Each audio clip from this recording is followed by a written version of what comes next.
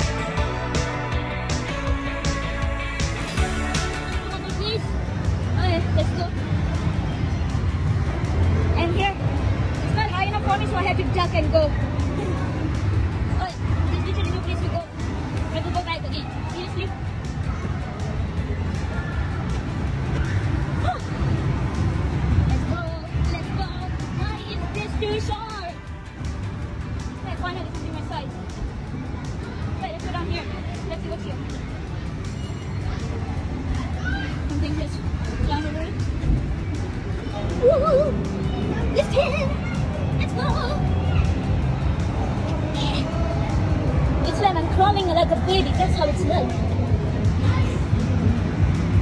Oh my god. Let's go down back. So this is the area that I came from up. So guys, here I am going to explore this place. I'm going uh, up one floor. Yeah. Uh, so this is the area where I was. Uh, so here's these up. Step. Second step.